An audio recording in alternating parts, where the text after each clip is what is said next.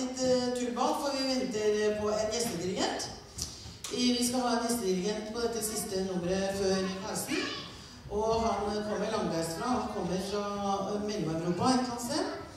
Og har et uh, spesielt uh, navn som henviser kanskje til en uh, sterkere drikke. Og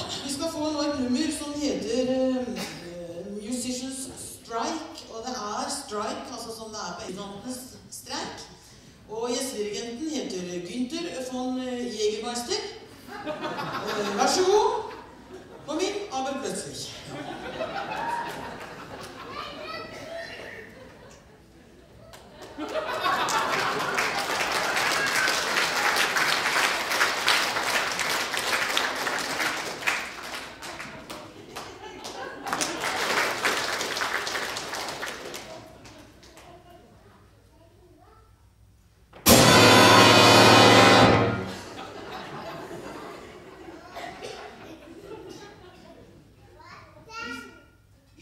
Kapitel, die einzige professionelle Musiker dieser Stadt, Brumenthal.